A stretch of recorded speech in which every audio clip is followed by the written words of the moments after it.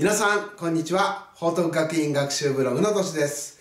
この動画はテストに出やすい問題を予想して、その答え方について説明していく動画です。今回は中学2年生の理科、オウムの法則についての問題です。抵抗器 A と B について電圧と電流の関係を調べて表にした。ここに表があります。ここに電圧対ボルトですね。で、0ボルト、1.5ボルト、3.0ボルト、4.5ボルト。このように電圧を書きました。その時、電流の流れ方ですね。これ対ミリアンペアです。A は、えー、0ミリアンペア、20ミリアンペア、40ミリアンペア、60ミリアンペア。そして B は、えー、0、30ミリアンペア、60ミリアンペア、90ミリアンペア。このように、えー、電流が流れました。1番、この実験結果をグラフに表せと。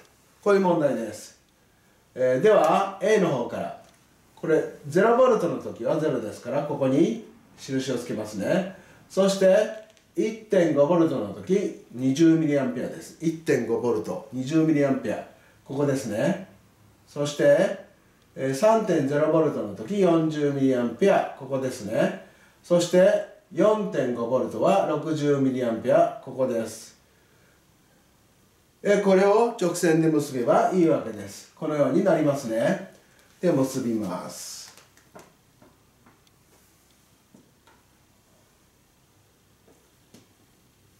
これが A の方のグラフです。では次、B の方に行きます。B は0の時0、1.5の時30ミリアンペア、3.0の時60ミリアンペア、4.5ボルトの時90ミリアンペア流れています。ここで1.5ボルトの時の30ってこの間ですよね。えー、3.0の時60でちょうどぴったりこの交わったところに来ます。で4.5の時90でこの間に来るんですけれど来るんですけれどこの時ちょっとズルをしちゃいましょう。ちょうど交わってるところに来る点先に見つけちゃいます。そうすると3.0ボルトで60ミリアンペアという点がここですよね。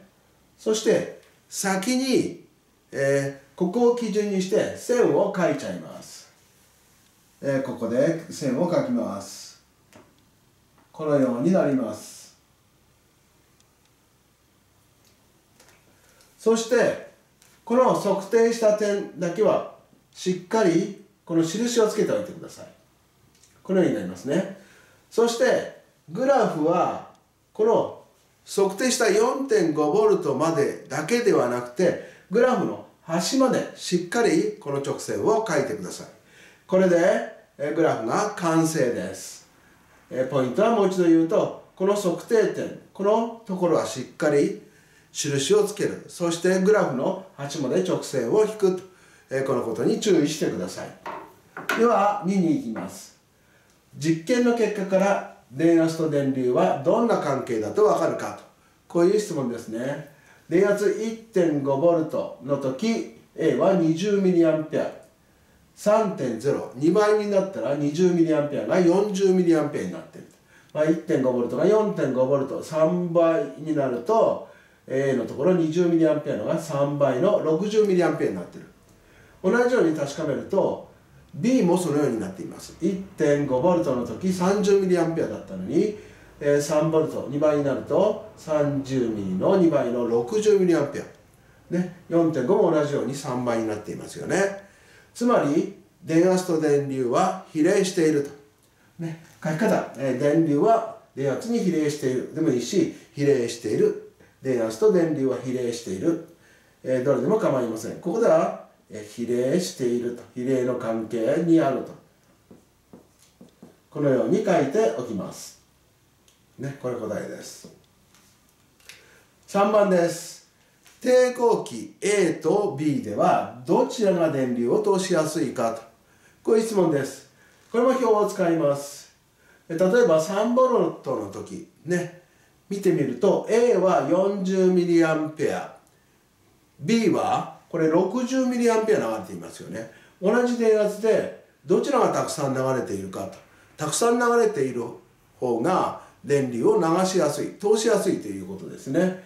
40と60を比べたら60の方が大きいですよね。つまり B の方が電流を通しやすいということですですからここの答えは B または抵抗器 B このように書いてください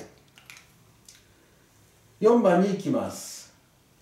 抵抗器 A と B それぞれの抵抗の大きさを求めようと、えー、これではオウムの法則の計算これをします。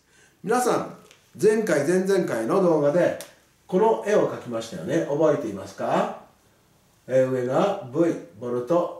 ここが I で単位はアンペアここが R で抵抗で単位はオウムと。このように計算も分かるような図を書きましたよね。ここで単位を見るとこれボルトアンペアオームですよね。電流がアンペアで計算しなさい。ということです。ここではミリアンペアという単位を使っているのでこの抵抗を求めている時求める時ですね。このミリアンペアをアンペアに直さなくちゃいけないんですよ。で1アンペアは1000ミリアンペアでしたから、えー、例えば A の方。20ミリアンペアは0.02アンペアということです。で今抵抗を求める時には抵抗を隠すとボルト割るアンペアということですね。ボルトは1.5ボルトなので1.5割る0.02です。これを計算すると75となるので答え A の方は75オームとなります。B の方もこのミリアンペアをアンペアに直します、えー、B のところ30ミリアンペアなので30ミリアンペアは0.03アンペアですよね。この0.03アンペアの方の数字を使います。電圧は 1.5V ですから1.5割る0.03これを計算すると50なので B の方の抵抗の大きさは50オームとこのように計算することができます。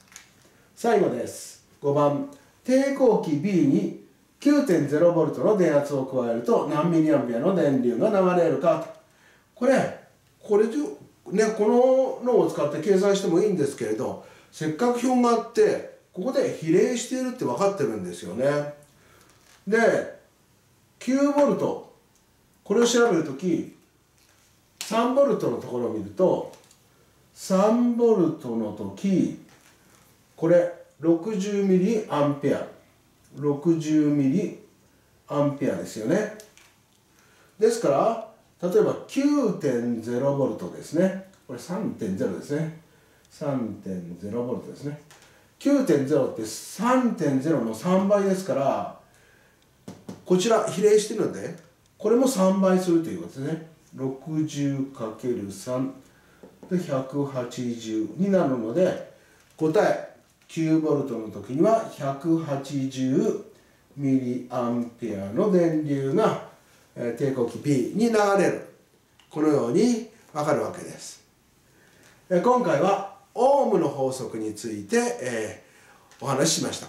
皆さんはこの図ですね。使えるようにしてください。今日も最後まで見ていただきどうもありがとうございました。ではまたお会いしましょう。さようなら。